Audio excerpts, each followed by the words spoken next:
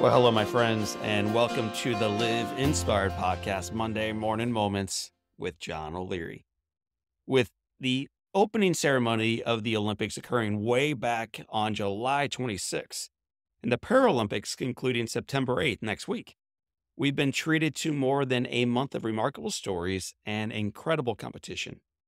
While our family may have missed some of the events, maybe your family missed some of the events as well there was one event in particular that my daughter Grace insisted we watch gymnastics. As remarkable as their athletic ability clearly was, it was a question that my little girl Grace shared at the end that moved me most. I want to share the question with you today and why it matters. Let's roll. After a week of roundoffs and front handsprings and split leaps and flyaways, and no, don't ask me to demonstrate any one of these.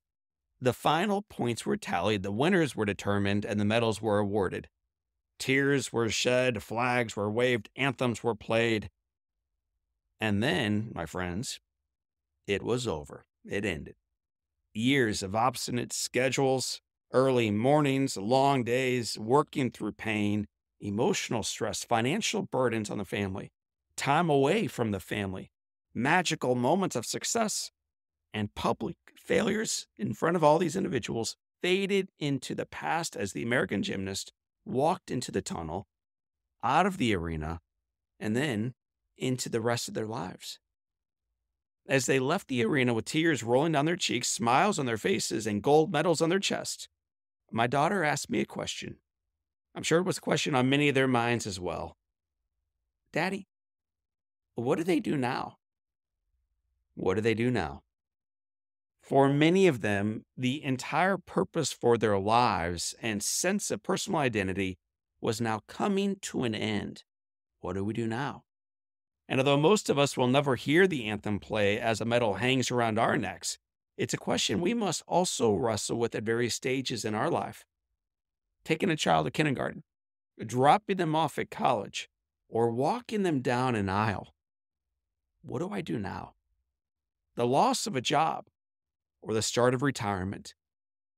What do I do now? The loss of a friendship, the end of a marriage, the death of a loved one.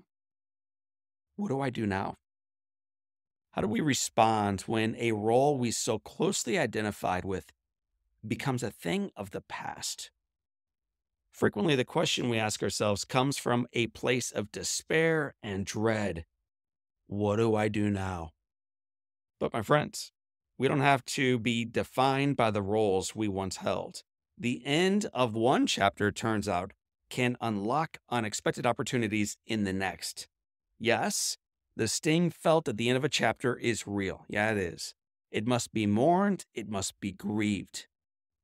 And yet, today, as you sip your morning coffee, as you reflect on chapters of your life, as you recognize the ups and downs already recorded, and the miraculous gift of simply being alive, let me share a different question that might eventually liberate us from attaching our entire identity to something that lives in the past, to something that remains ahead. You ready for it?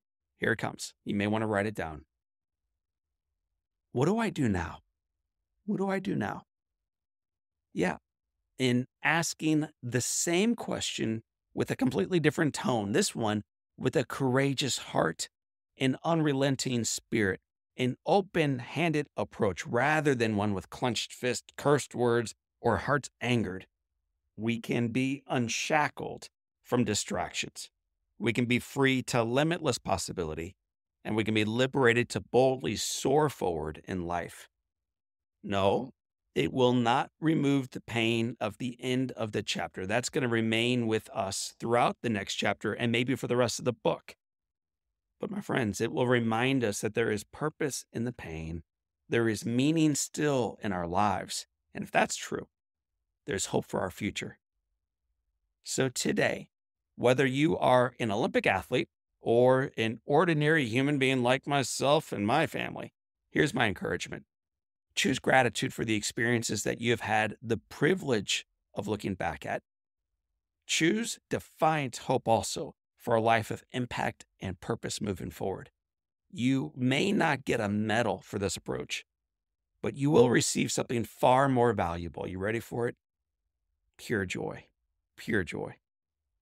My friends, I want to thank you as I do every week for tuning in to our Live Inspired podcast community. I want to remind you that the foundation is firm. The headwind is real, but the best is yet to come. So grab that medal, hold fast to pure joy, and recognize your very best is yet to come. So for this time, and until next time, my name is John O'Leary.